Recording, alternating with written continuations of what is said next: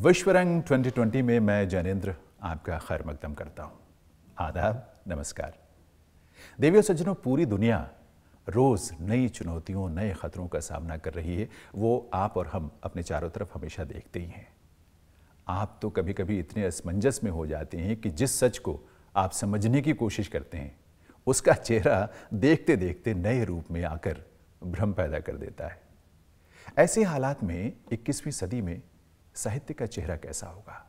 सरोकार कैसे होंगे? आइए जानते हैं दक्षिण अफ्रीका से पधारी लेबो माशिले से। वे विख्यात कवि, फ़िल्म अभिनेत्री और सोशल एक्टिविस्ट हैं। इस सेशन में दूसरे विद्वान वक्ता हैं प्रभु जोशी, कलाकार, चित्रकार, फिल्मकार और मीडिया विशेषज्ञ। चलिए, वे हमारे इंतज़ार में हैं, इसलिए हम भी उनसे जुड़ते हैं।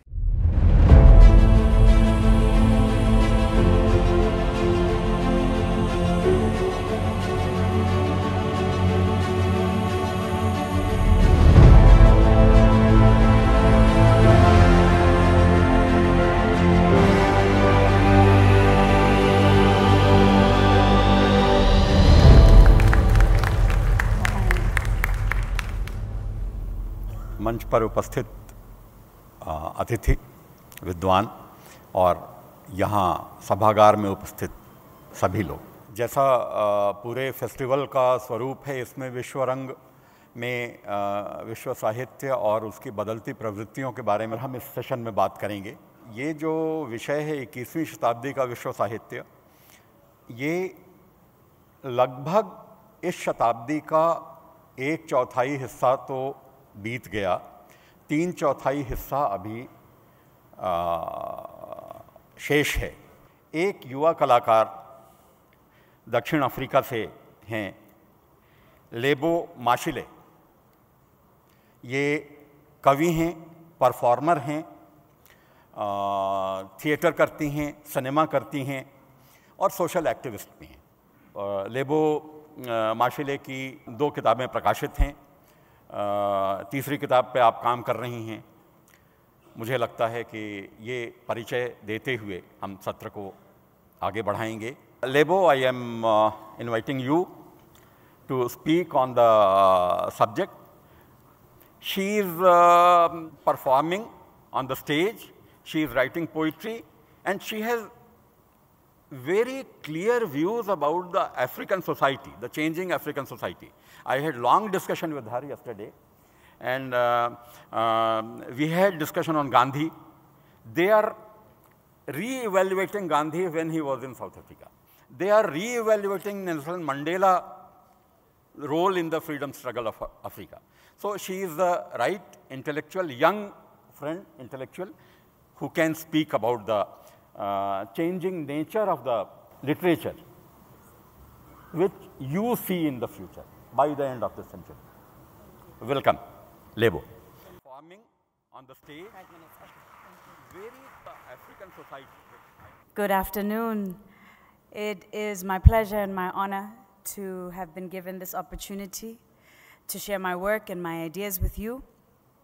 My name is Lebo Mashile in my country, uh, surnames were a concept introduced by our colonizers. We did not have surnames. We had poetry and clan names that codified our identities. So my real name is Rebamashile Basegodisa Malikani, Mukibani wa Munesa Morale, ngwana wa Lepulana Pula ha chabe ke ka mosela ntheng ya thaba magale a segorobele re matšhilwane a a la mošidi ka mošo a šila tlhogo tsa batho. Rena ba maswi ka magamaga e kego ma ya tšhilwane The fact that I come from a part of the world that uses poetry to record and document identity, events, uh, historical figures, it means that in 2019, as a 40 year old woman, my great grandparents had a reference point for what I do, and a 16 year old in South Africa has a reference point for what I do. And that means that this art form will endure. If it survives in the way that we understand it, is a question that remains to be answered. I think narrative, the art of telling stories, the art of preserving memory, the art of using language to understand, examine, and expand our humanity will never die. Um, this is why this, this country produces such extraordinary culture.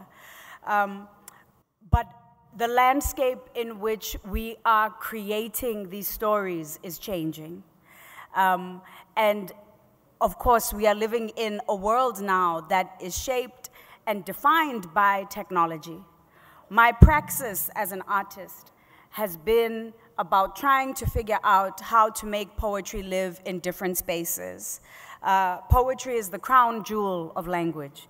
Um, poetry is, is what all language aspires to. Um, as soon as human beings started speaking, we started making poetry. It's, it's, a, it's a human function. And before poetry was written, it was recorded in memory for the ear, for the heart, for the voice, for the breath, for the soul. Um, and I think this is what is exciting about this particular era, is seeing how young people are taking this art form and making it live in ways that we couldn't have imagined. Um, in my own experience, I've collaborated with musicians and filmmakers. I'm a theater maker. Um, I've worked with visual artists, painters, printmakers. Um, poetry lends itself to collaboration. And I think in the digital era, we are going to see people take language and do unbelievable things with it, particularly poetry, because it lends itself to this. Um, for artists who are interested, for poets who are interested in expanding the boundaries of what language can do with the digital medium, this is very exciting. It means that we are going to create hybrid art forms that we couldn't have imagined before. But it also means that our canons, um, the literature that has made us, the literature that, that, that has, has shaped our languages, it also has an opportunity to be reimagined, to be relearned, to be reinterpreted through new art forms.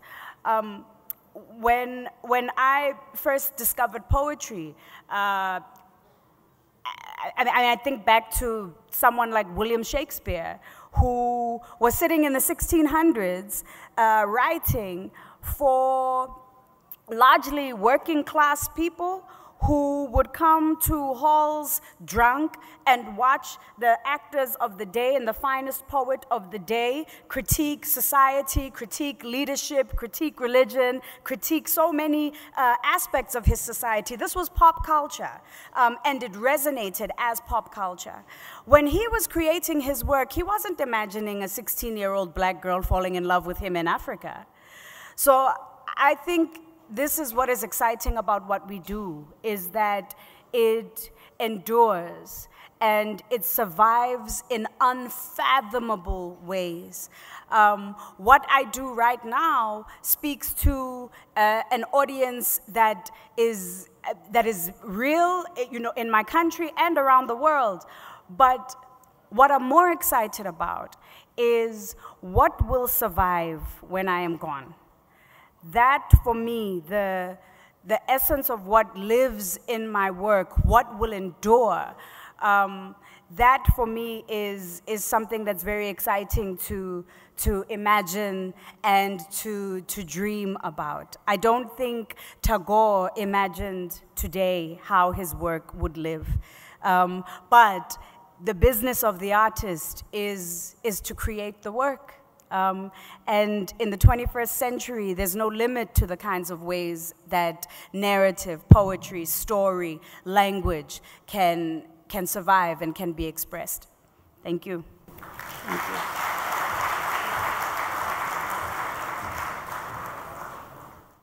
हम लोग जो साठ पार के लोग हैं हम इनके बारे में जो आने वाला समय है इसके बारे में कल्पना कर सकते हैं चीज़ों को आ, देखने समझने की कोशिश कर सकते हैं। लेकिन जो आज के समय दौर में जो समकालीन साहित्यकार हैं ये उसमें जिएँगे। इसलिए हमने कोशिश भी ये की है कि मंच पर जो बातचीत करने के लिए जिस तरीके से कॉम्पोजिशन करें हम युवा लोगों को भी शामिल करना चाहते थे क्योंकि उनको जीना है। और हमने क्योंकि जिस तरीके से चीज़ें बदल रही हैं और बहुत सारे क्षेत्रों में जो एक रिजिड परिभाषा साहित्य को लेके है रिटर्न वर्ड को लेके, एक कन्वेंशनल वो टूट भी रही हैं। जैसे समाज बदल रहा है तो आप स्पोकन वर्ड पूरी दुनिया में इस समय भारत में भी धीरे धीरे ये हवा आ रही है। स्पोकन वर्ड पोइट्री की काफ़ी धूम है, जिसमें लिखे शब्दों से ज़्यादा उसकी परफॉर्मेंस स्टेज परफॉर्मेंस का ज़्यादा महत्व दिया जाता है। और उनकी ऐसे लोगों की परफॉर्मेंस बहुत प्राइज परफॉर्मेंस हैं और उनकी किताबें लाखों की संख्या में बिकती हैं। जैसा मैंने कहा कि साहित्य अपना कलेवर, अपना रूप बदल रहा है और जैसे समाज बदलेगा, निश्चय ही जैसे साहित्य समाज का दर्पण है, हम तो शुरू से ये सुनते आए हैं समाज बदलेगा तो साहित्य भी बदलेगा। साहित्य की जो पारंपरिक परिभाषाएँ और पारंपरिक स्वरूप है, उसमें बड़ी तेज़ी से परिवर्तन हो रहे हैं और नए नए विषय सामने आ रहे हैं। पूरी दुनिया में, अभी कुछ दिनों पहले मैंने एक भारतीय हैं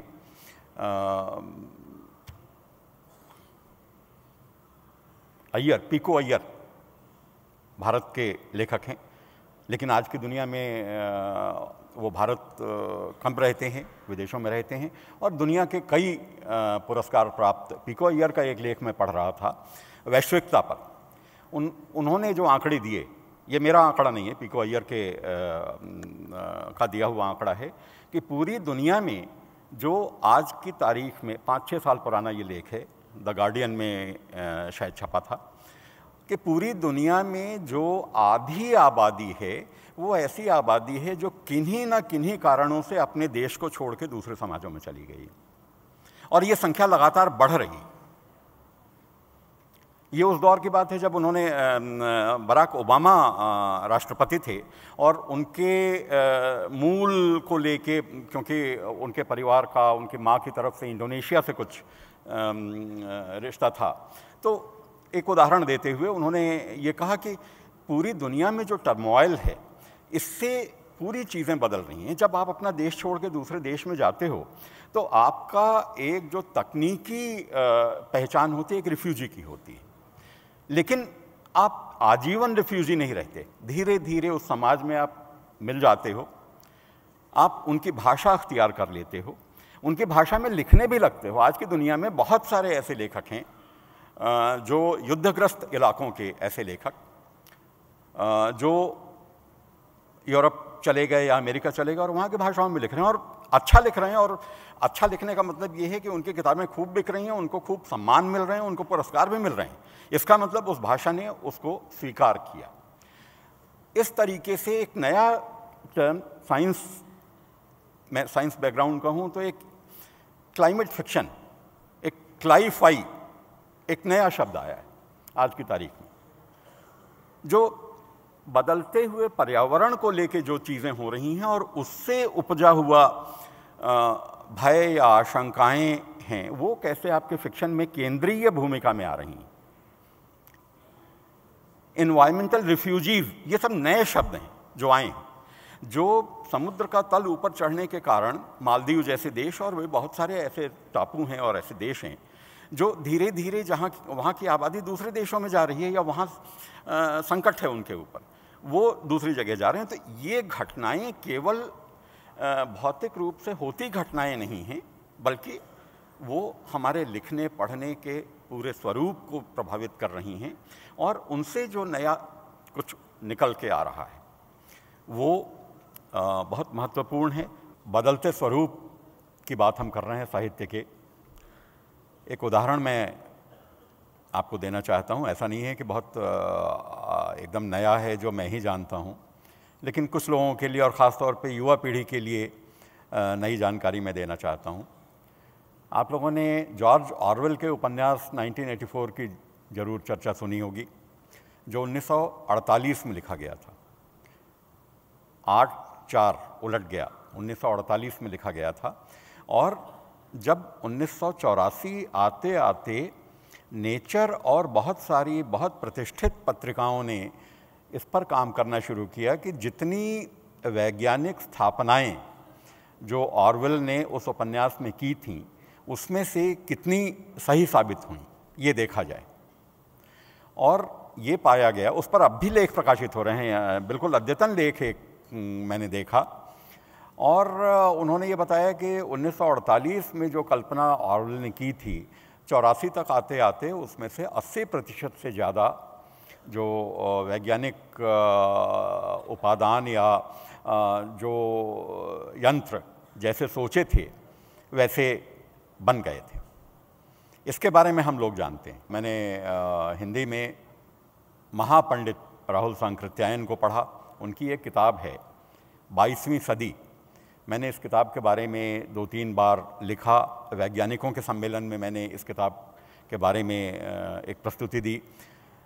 और ये बहुत सारे लोगों को ये जान के आश्चर्य हुआ कि संस्कृत पढ़े हुए पंडित, महापंडित राहुल सांकृत्यायन, जो सन्यासी थे और अंग्रेज़ी शिक्षा, विज्ञान उस तरह से जिन्होंने नहीं पढ़ा, उनकी ये जो किताब है बाईसवीं सदी बाईसवीं सदी का कोई एक साल है इक्कीस सौ छत्तीस है या छब्बीस है मुझे ये सही साल नहीं याद है क्योंकि ये किताब अब अब उपलब्ध नहीं है इस समय।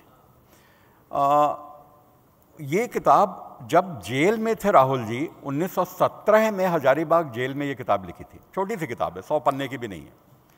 उसमें जो उन्होंने इक्कीसवीं सदी में समाज क्या रूप लेगा भारतवर्ष क्या रूप लेगा भारत को केंद्र किया और विश्व क्या रूप लेगा? वो भौगोलिक सीमाओं को नहीं मानते हैं। वो एक, क्योंकि आपको ये मालूम हुआ कि वामपंथी मार्क्सवाद से प्रभावित थे तो एक वैश्विक दृष्टिकोण, एक से लिखी गई वो किताब, जो उपन्यास भी कही जा सकती है, एक नॉन फिक्शन भी कहा जा सकता है। मैंने एक बार ये प्रेजेंट किया कि 1984 में जॉर्ज ऑरवेल ने जो कहा था, और बाईसवीं सदी में जो महापंडित राहुल सांकृत्यायन ने कहा था उसमें क्या समानता है किस तरह से दोनों भविष्य के स्वप्न को देखते हैं? तो बहुत सारी स्थापनाएँ जो राहुल जी की थीं वो सत्य साबित हुई और बहुत सारी नहीं भी सत्य साबित हुई। उसकी उसकी वजह है। उसकी वजह ये है कि राहुल जी एक साम, साम मार्क्सवादी दृष्टिकोण से दुनिया को देख रहे थे। दुनिया उस रास्ते पे चली नहीं। वो भौगोलिक सीमाओं की बात कहते थे कि जैसे बॉर्डर से विदर अवे वो ये मान के चलते थे। लेकिन बहुत सारी स्थापनाएँ उनकी ऐसी हैं जो सत्य साबित हुई और आज की तारीख में भी प्रासंगिक हैं। और जब मैंने देश के बड़े वैज्ञानिकों के सामने ये किताब के बारे में बताया तो सब इतने चौंके। मुझे लगा कि यह हम 1984 को लेके इतना गर्व करते हैं, हमें महापंडित राहुल सांकृत्यायन की 1917 में लिखी इस किताब के बारे में भी गर्व करना चाहिए कि एक, आज की तारीख में बैठा हुआ एक आदमी भविष्य का स्वप्न कैसे देखता है। तो यदि आप लोगों को मौका मिले तो ज़रूर ये किताब पढ़ें, क्योंकि भविष्य केवल आपके सोचने से नहीं बनेगा। आपका सोचना, आपके कर्तव्य, आपके एक्शन और हमारी सामूहिकता से बनता है। इन सबको मिला के हम जिस तरह का समाज का स्वप्न देखते हैं, वो यदि हम स्वप्न देखते हैं तो समाज पूरा नहीं तो कुछ ना कुछ तो ऐसा बनता है। तो इस सत्र की एक महत्वपूर्ण बात ये भी है कि चीज़ें कैसे हम देखते हैं। बदलती हुई परिस्थितियों की जब बात हम करें तो इसमें केवल साहित्य नहीं, भाषाएँ बदलती हैं, भाषाएँ लुप्त होती हैं, नई भाषाएँ इवॉल्व कर रही हैं। अभी मैं कुछ सोशियोलॉजिस्ट और एंथ्रोपोलॉजिस्ट्स के, की रिसर्च स्टडीज़ देख रहा था, जिसमें उनकी स्थापना ये है कि धीरे धीरे जो रिटर्न वर्ड है, वो कमज़ोर पड़ रहा है उन्होंने पॉपुलैरिटी के टर्म में लिया है कि वो उतना पॉपुलर नहीं। डिजिटल या इलेक्ट्रॉनिक वर्ड्स ज़्यादा पॉपुलर ये उनकी स्थापना है।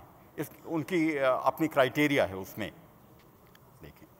लेकिन, और ये आज नहीं हम, पता नहीं, मैं जब छोटा था, मैं तिरसठ साल का आज की तारीख में हूँ, और मैं जब छोटा था, तब से सुन रहा था, सुनता रहा हूँ कि नहीं, ये किताबें उताबें तो एक दिन ख़त्म हो जाएँगी और कोई किताबें नहीं पढ़ेगी। लेकिन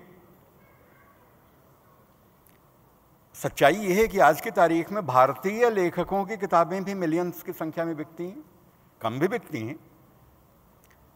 मैंने ये उदाहरण इसलिए दिया कि हमें थोड़ा सा जो एक रिजिड ट्रेडिशनल परिभाषा जो छपे हुए शब्दों को लेके जो हमारा एक आग्रह है, उससे थोड़ा सा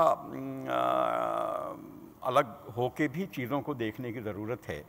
तो हमें इस बदलते हुए ट्रेंड की ज़रूरत को भी समझना चाहिए। मुझे लगता है कि इसमें हर किसी का भला है। साहित्य संस्कृति का भी भला है और लेखकों का भी भला है कि हम यदि चीज़ों को बदलते हुए देखें और उनको बदलते हुए रूप में स्वीकार करें और उन कारणों को ढूंढें कि जिसमें जिसके कारण ये जो कन्वेंशनल सेंस का साहित्य है वो उतना पॉपुलर नहीं है। या उसकी पॉपुलैरिटी धीरे धीरे कम हो रही है। बहुत सारे ऐसे समाज हैं और जिनको आप बोलने नहीं देंगे, ऐसे भी समाज हैं, जिनको आप लिखने नहीं देंगे, जिनको बोलने नहीं देंगे, जिनकी भाषाएँ लुप्त हो जाएँगी।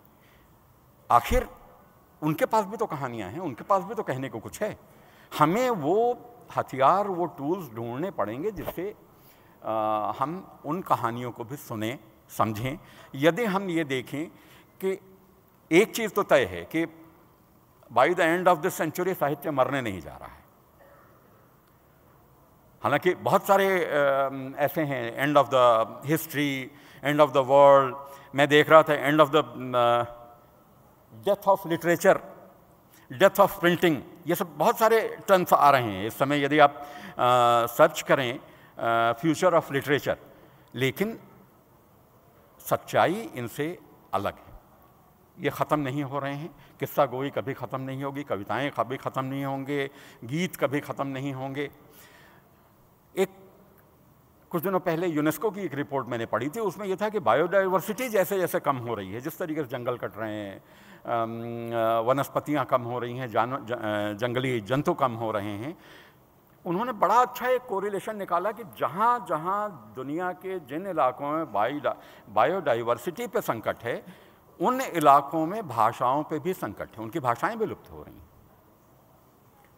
तो ये संकट हैं, इन संकटों की, इन चुनौतियों को हमें स्वीकार करना पड़ेगा और इसी संदर्भ में हमें महज एक दृष्टा की तरह से नहीं, एक सैनिक की तरह से भी ये सोच के संकल्प के साथ ये सोचना होगा कि यदि चीज़ों को, विचार प्रक्रिया को बनाए रखना है तो उसके लिए हमें अपने आप को रीडिज़ाइन या री इक्विप कैसे करना होगा? हमारी बड़ी बहन विजय शर्मा जी हैं। अनुवाद के क्षेत्र में यदि कोई विश्व साहित्य और सिनेमा और दुनिया के जो नोबेल लॉरियट्स हैं साहित्य के, उनके बारे में हिंदी में कोई बात करे और विजय जी को बाईपास कर जाए, ये संभव नहीं है। विजय जी ने जिस पैशन और निष्ठा और एक एक पूरे जीवन के मूल्य के तौर पर ये जो काम किया है, मैं इसको प्रणाम भी करता हूँ और आपको ये बताता हूँ कि हमारे इस पैनल में विचार, अपने विचार देने के लिए विजय जी भी यहाँ उपस्थित हैं। इस सत्र में अब मैं विजय जी को आमंत्रित करूँगा कि मेरी कही बातों को आगे बढ़ाएँ और अपना, अपनी स्थापना दें कि चीज़ें कैसे बदल रही हैं और इस बदलते हुए साहित्य के स्वरूप को हमें किस तरह से ग्रहण करना चाहिए। तौर पर ये जो काम किया है, मैं इसको प्रणाम भी मंच पर आसीन विद्वजन और सभागार में उपस्थित साहित्य प्रेमियों, सबको मेरा नमस्ते। मैंने अपनी ज़िंदगी में बहुत सारे सेमिनार में शिरकत की है। कुछ सेमिनार का आयोजन भी किया है। लेकिन विश्व रंग जैसा समारोह इससे पहले नहीं देखा। हम विश्व साहित्य की बात कर रहे हैं। जब हम 21वीं सदी के विश्व साहित्य की बात करते हैं तो मुझे ऐसा लगता है कि साहित्य तो एक सतत प्रक्रिया है। ऐसा नहीं है कि जिस दिन फ़र्स्ट जनवरी 2000 हुआ, वहीं से हम ले लें। नहीं, ऐसा नहीं, मुझे नहीं लगता है। साहित्य में हम विरासत को कभी भी नकार नहीं सकते हैं। साहित्य विरासत को लेकर के चलता है और समय समय पर, जैसा कि अभी बताया है यादेन जी ने, परिवर्तन होता रहता है, क्योंकि परिवर्तन एक सतत प्रक्रिया है। तो साहित्य में, समाज में जब परिवर्तन आता है तो साहित्य में भी परिवर्तन आता है। जब हम 21वीं सदी का साहित्य देखते हैं और विश्व साहित्य की बात करते हैं तो टैगोर का नाम सबसे पहले हमारे मन में आता है, क्योंकि टैगोर से भारत की एक पहचान विश्व में बनी, विश्व साहित्य में टैगोर से हमारी पहचान बनी, जो कि आज भी कायम है और आगे भी सदियों सदियों तक ये कायम रहेगी, ऐसा मेरा अपना निजी विश्वास है। जब हम आज के साहित्य की बात करते हैं, आज कुछ प्रवृत्तियाँ मुझे नज़र आती हैं, जो हम अपने ख़ास तौर से हिंदी साहित्य में देख रहे हैं, वो समाज को ही परिलक्षित कर रही हैं। इस सदी की एक बहुत बड़ी घटना जो पिछली सदी से असल में प्रारंभ हो चुकी है जिन लोगों को हम साहित्य में हाशिए पर डाले हुए थे, जिनके बारे में यदा कदा बातें होती थीं, कुछ लोग बात करते थे, लेकिन उनकी अपनी आवाज़ हमें नहीं सुनाई देती थी। ऐसे लोगों की अस्मिता जागी है। ऐसे लोग हाशिए से अब केंद्र में हमें नज़र आ रहे हैं। जब मैं इन लोगों की बात करती हूँ तो ऐसा नहीं कि इनके बारे में साहित्य नहीं था। प्रेमचंद ने साहित्य लिखा और इन लोगों को साहित्य में समाहित किया। और भी कई लोगों ने इन्हें केंद्र में रखकर साहित्य रचा। लेकिन जैसी मुखर आवाज़ आज हमें सुनाई देती है, ऐसी पहले नहीं सुनाई दे रही थी। मैं बात कर रही हूँ दलित साहित्य की, मैं बात कर रही हूँ स्त्री साहित्य की, मैं बात कर रही हूँ समलैंगिक साहित्य की। पिछली सदी में शायद इन्हें अपनी बात कहने का ऐसा अवसर नहीं मिल रहा था, लेकिन अब ये लोग स्वयं अपनी बात कह रहे हैं। तीसरे यौन की बात जब हम करते हैं, समलैंगिक की बात करते हैं तो आज हमें ये हिंदी साहित्य में नज़र आता है। जो थर्ड जेंडर की बात है, अभी जिन्हें बुकर प्राइज़ मिला है उन्होंने भी जो साहित्य रचा है, वो पहली ब्लैक वुमन है जिन्हें बुकर प्राइज़ मिला है। इंटरनेशनल मैन बुकर प्राइज़ की बात मैं कर रही हूँ।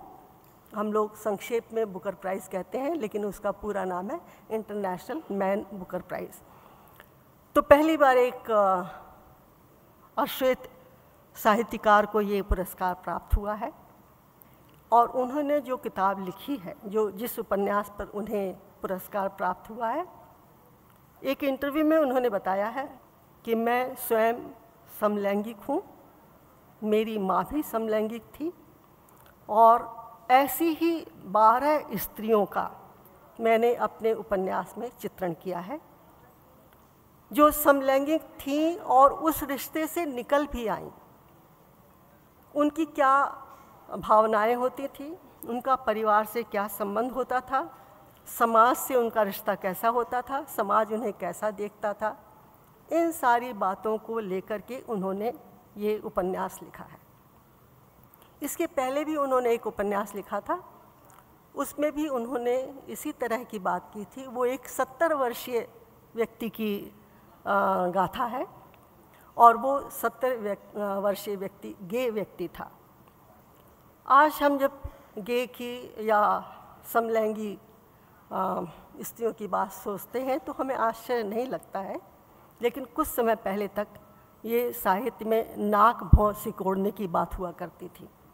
लेकिन आज ये प्रवृत्ति है जो हम साहित्य में मुख्य धारा में भी देखते हैं। भारतवर्ष में हिंदी में भी ऐसा काम आ रहा है।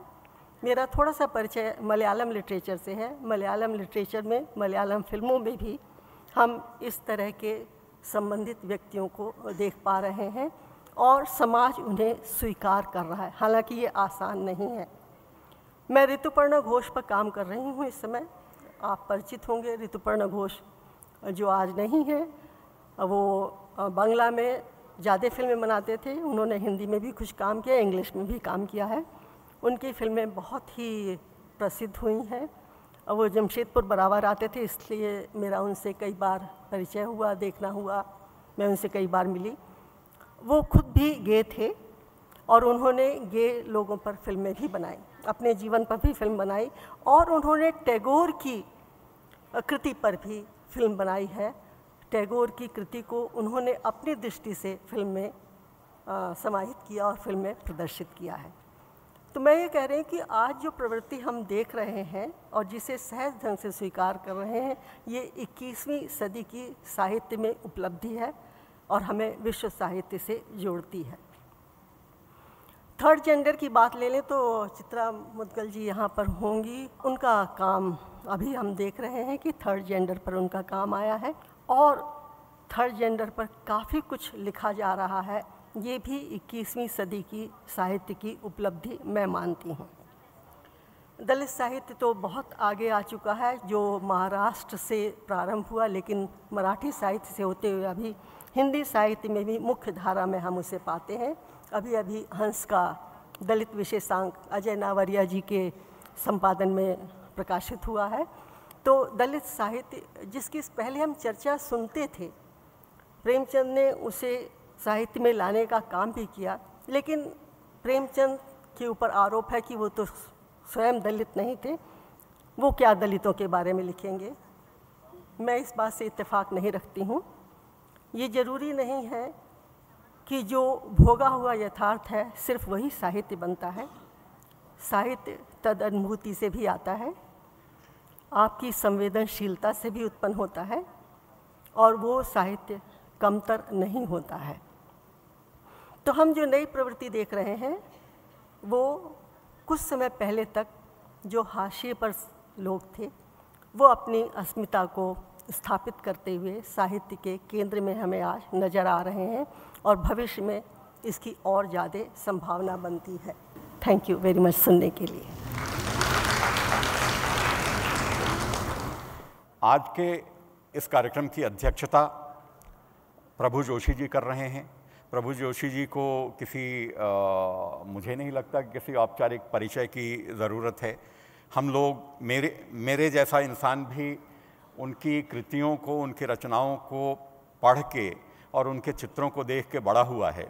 ये मेरे लिए भी गर्व का विषय है कि वो इस कार्यक्रम की अध्यक्षता कर रहे हैं और आपके तो अपने हैं। आपके मध्य प्रदेश के अपने हैं।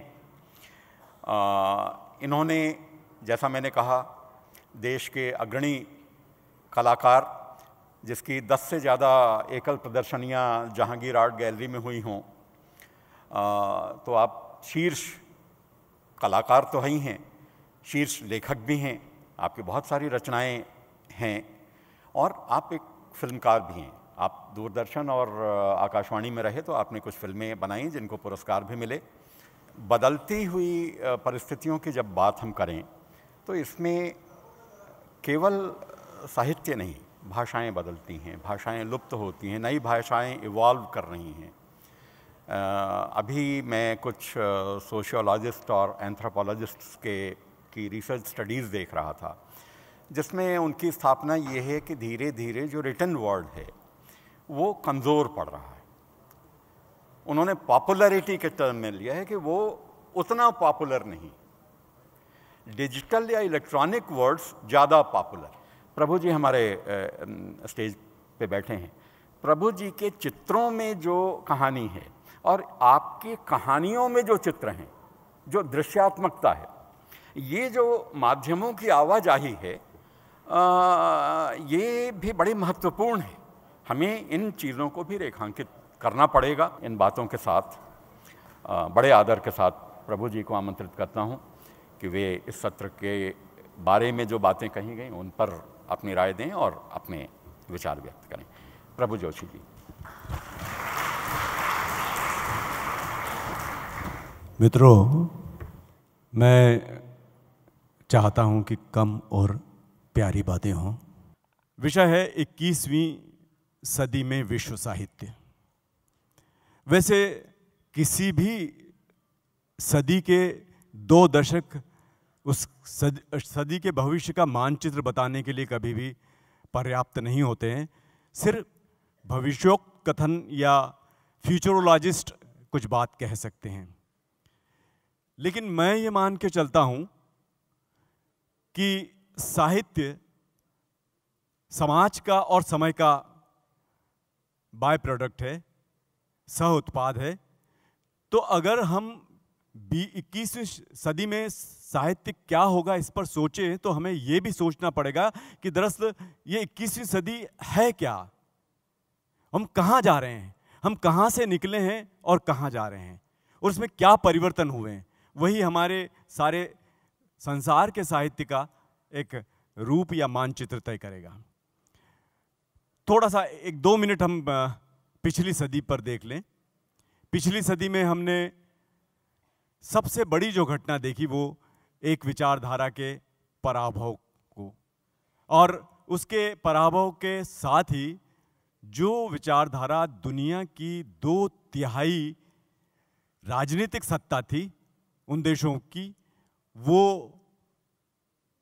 एक बड़े जो दो ध्रुवी शक्ति थी, उस ध्रुव को दो टुकड़ों में जो थी उसको लगभग 16 टुकड़ों में बांट दिया गया और सोवियत संघ का विघटन हो गया। ये सबसे बड़ी नियामक घटना थी जो हमारी आने वाली सदी को तय कर रही थी कि इसका रूप क्या होगा। ये एक तरह की विजय थी। किसकी विजय थी? ये बहुत बड़ी बात है, क्योंकि हम शीत युद्ध के बारे में बहुत कम जानते हैं हमारे सामान्य मित्र कि एक, ये कैसी छुपी हुई लड़ाई लड़ी जा रही थी। और उसका ये प्रतिफल था जब हमें मालूम हुआ। मैं मान के चलता हूँ कि इस परिवर्तन को अगर हम ध्यान में रखें इससे देखें तो हमारे सारे के सारा भविष्य भविष्य का साहित्य भविष्य का चित्र भविष्य का समाज और भविष्य की राजनीति स्पष्ट हो जाती है। भविष्य की राजनीति सबसे बड़ी ये थी कि राजनीति ग्रामशी करके एक चिंतक है उन्होंने आ, कहा था एंड्रू रास की किताब आई थी जिसमें उन्होंने एक यूनिवर्सल अबंडन करके किताब, उसकी भूमिका में लिखा था कि अब सारे प्रश्नों को सांस्कृतिक प्रश्नों से नाथ दिया जाना चाहिए। तो हमारा सारा का सारा जो अर्थशास्त्र है, वो सांस्कृतिक अर्थशास्त्र में बदल गया। और हिंदुस्तान में जैसे ही हमने ग्लोबलाइजेशन के साथ या दुनिया में, दुनिया का, एशिया का सबसे बड़ा देश है भारत उसमें अगर ग्लोबलाइजेशन अपनी शर्तों पे आता है तो मान के चलिए, भारत का बदलना, यानी एशिया के चेहरे का दो ही लोगों से बदला जा सकता, वो है चीन और दूसरा हिंदुस्तान। तो भारत में जब हम उन्नीस सौ इक्यानवे चौबीस जुलाई को बेल आउट डील पर हस्ताक्षर करते हैं तो आप मान के चलिए कि हमने जो आज़ादी उन्नीस में प्राप्त की थी, उसे आने वाले 500 सालों के लिए गिरवी रख दिया है। तो अब ये जो नई हमारी पराधीनता है, ये हमारा भविष्य तय करेगी। ये हम केवल पराधीन नहीं हो रहे हैं।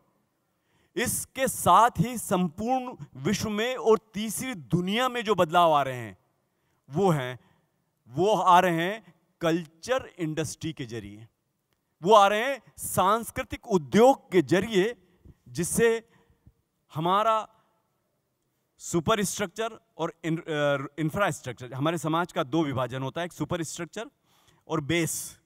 तो सुपर स्ट्रक्चर में तो परिवर्तन बहुत पहले कर दिया गया और निश्चित है उसके बड़े चिंतक रहे हैं। पूरा फ्रैंकफर्ट स्कूल उसके लिए आया था कि हम सुपर स्ट्रक्चर में क्या क्या क्या परिवर्तन करते हैं।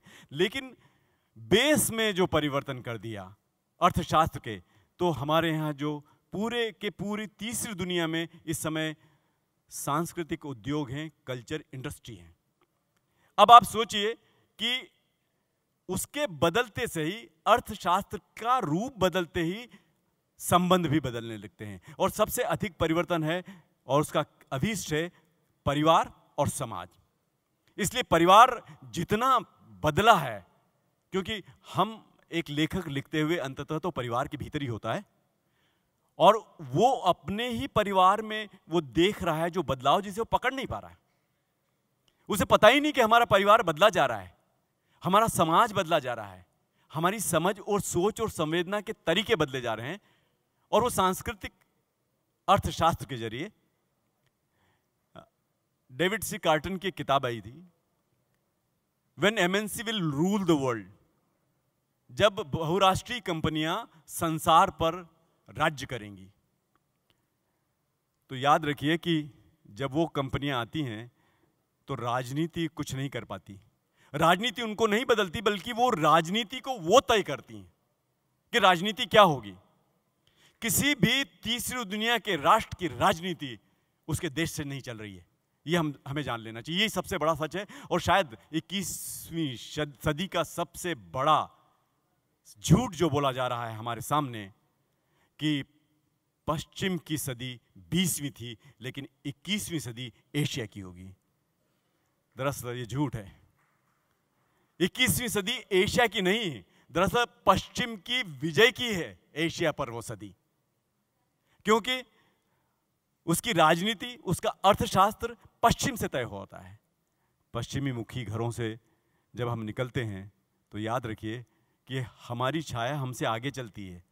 कई बार लगता है कि ये छाया शायद घरों में रहते हुए, पश्चिमी घरों में रहते हुए घबरा गई थी। लेकिन अब तो हम पश्चिम के स्वप्न देखने लगे हैं। हमारी सारी चीज़ें पश्चिम का एक तरह से स्वप्न का और संभावना का, मांग का प्रकारांतर से एक रूप बदल गया है। वो बहुत अलग ढंग से केमाफ्लोज हो गई है और जिसे कहा जाता है कि हमें पता ही नहीं चलता है। वो कहते हैं ठीक कहते हैं, पश्चिम ठीक कहता है कि we don't enter a country with gun boats rather with language and culture और हम पाते हैं कि वो तो खुद गुलाम बनने के लिए आगे से तैयार हैं। तो जब हम एक नई गुलामी को स्वीकार रहे हैं और पूरी तीसरी दुनिया स्वीकारने के लिए बाध्य है, उनकी, उनका कहना ही था कि आप अंततः पश्चिम की एक अनुकृति से ज़्यादा नहीं होंगे।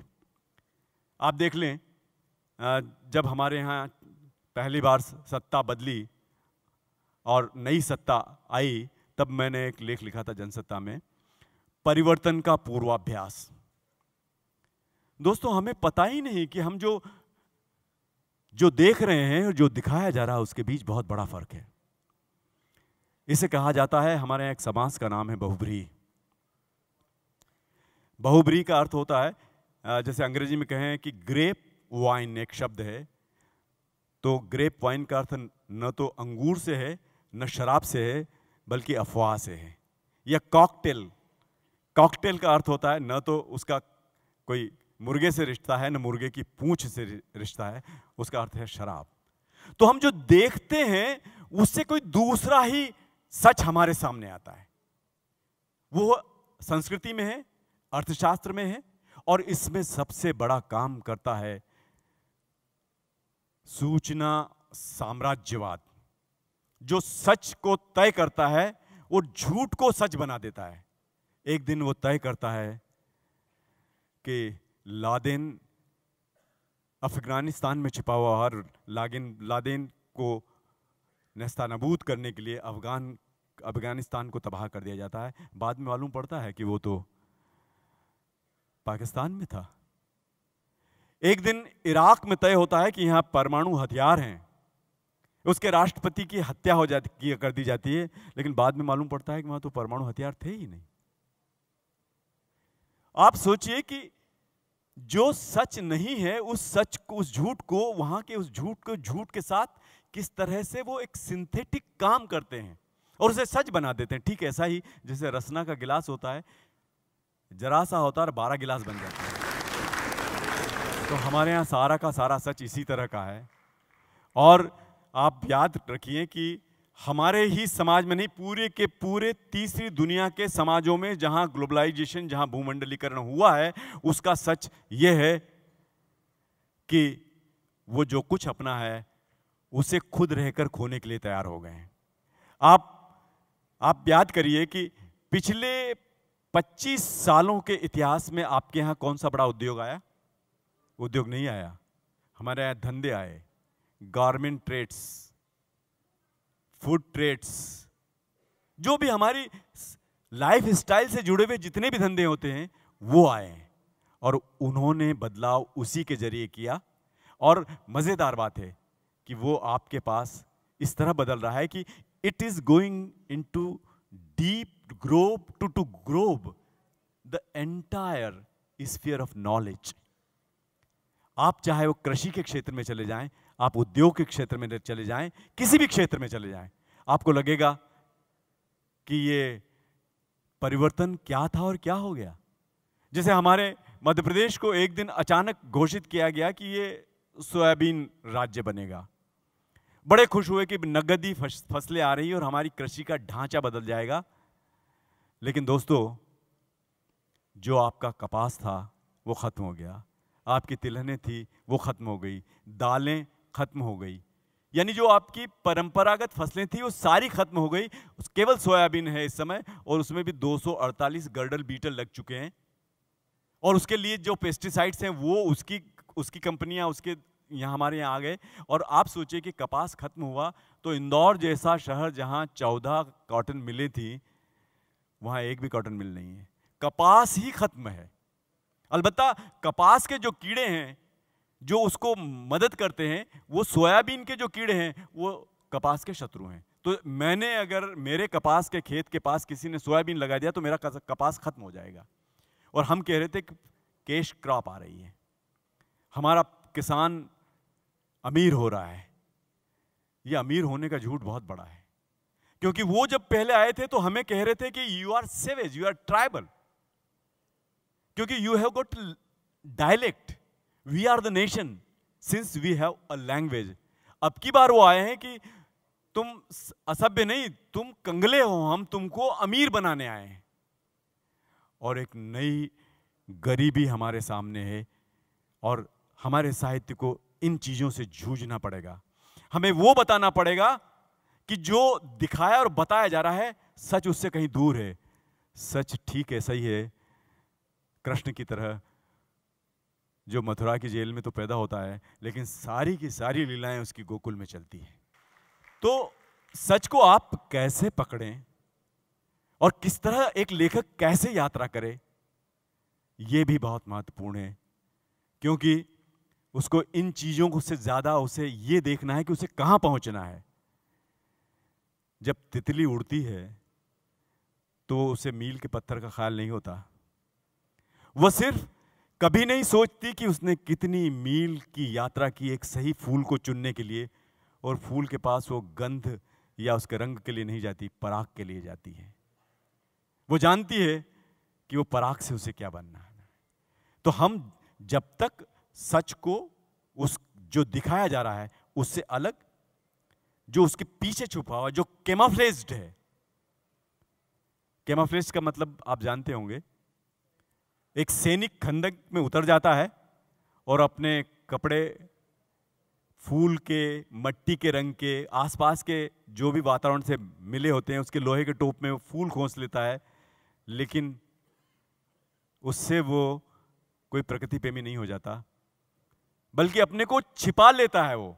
और अब की बार जब वो ए के फोर्टी सेवन चलाएगा तो निशाने कांपेगा नहीं और ठीक उस जगह लगेगा जहाँ उसे लगाना है। वो शत्रु को चकमा देगा। तो दरअसल अब की बार जो नया परिवर्तन आ रहा है, जो हमारे समय, समाज और साहित्य और कलाओं को बदल रहा है, वो उसी तरह का कैमाफ्लेज होकर आ रहा है और वो अपने अभीष्ट में सही है। दूसरा बड़ा यह है कि हम सबाल्टर्स की बात करते हुए दलित और दमित और स्त्री प्रश्नों को लेके आए, लेकिन आप देखें कि पिछले 25 सालों में सेक्सुअलाइजेशन ऑफ़ सोसाइटी तमाम जगहों में हुआ है। सारी दुनिया, तीसरी दुनिया के जो मूल्य थे, उनसे ठीक उलट हुआ है। स्त्री रूप के बजाय देह केंद्र में आया है। और सबसे बड़ा उसका उपकरण बहुत मज़ेदार था। उसका उपकरण था एड्स। कैरी म्यूलस जो हैं, नोबेल लारेट हैं, जिन्हें पीसीएमआर पद्धति खोजी।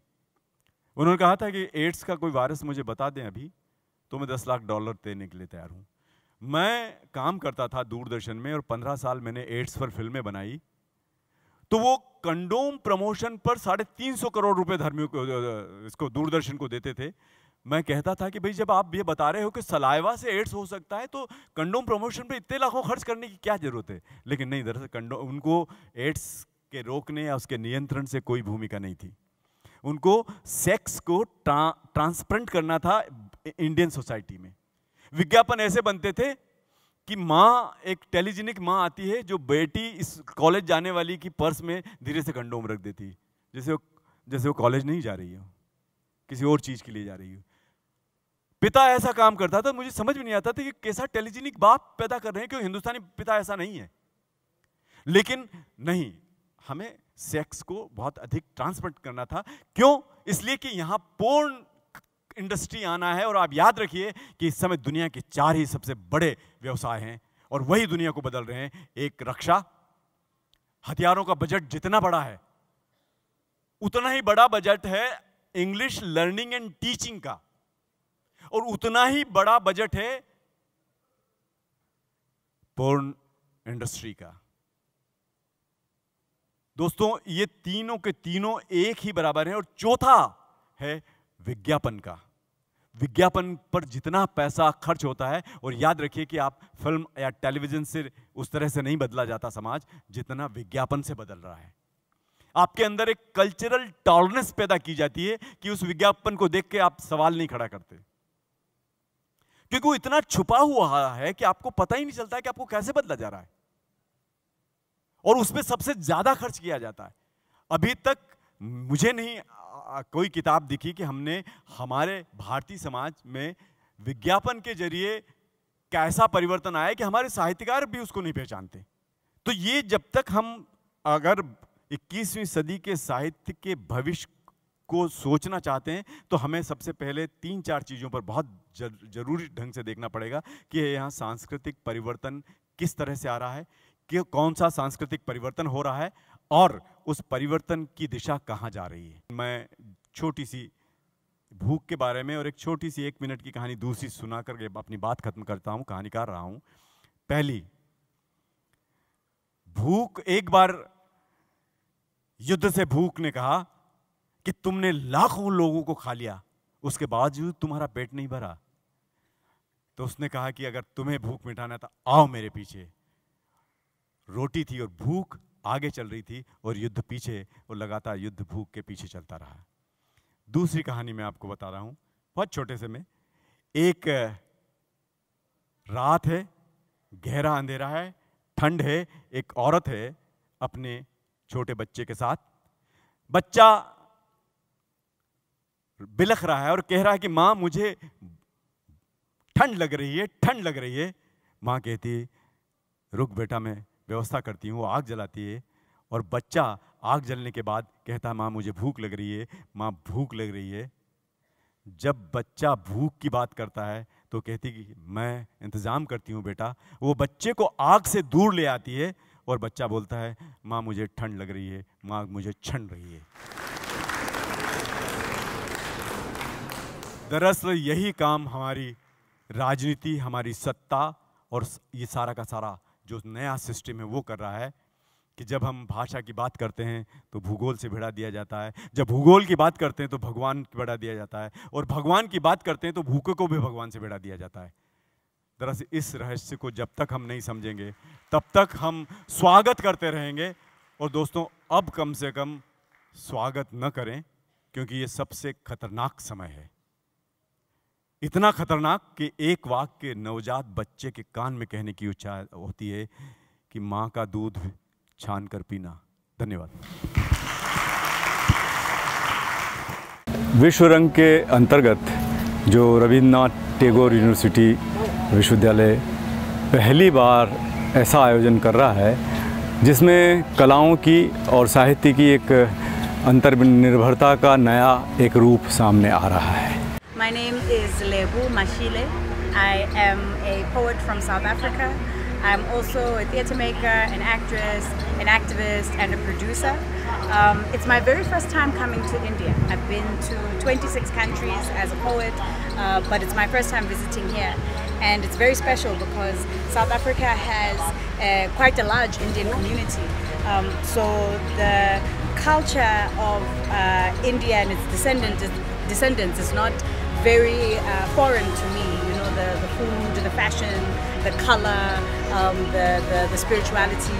Um, it's something that's familiar. What is unique about this festival? Um, the size and the scale. I mean, given the fact that this is a festival that is based at a university, but that it's able to uh, host 250 writers, this is quite massive. मेरा नाम कुमार अनुपम है मैं कवि, चित्रकार और कला समीक्षक हूँ।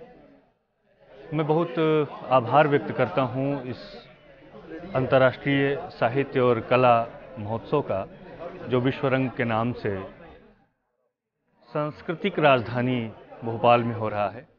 और टैगोर विश्वविद्यालय ने ये बहुत बड़ा आयोजन और मैं कहूँगा कि ऐतिहासिक आयोजन किया है, क्योंकि इसमें सिर्फ़ भारत के ही नहीं बल्कि विदेशों से भी रचनाकार यहाँ पर आए हैं।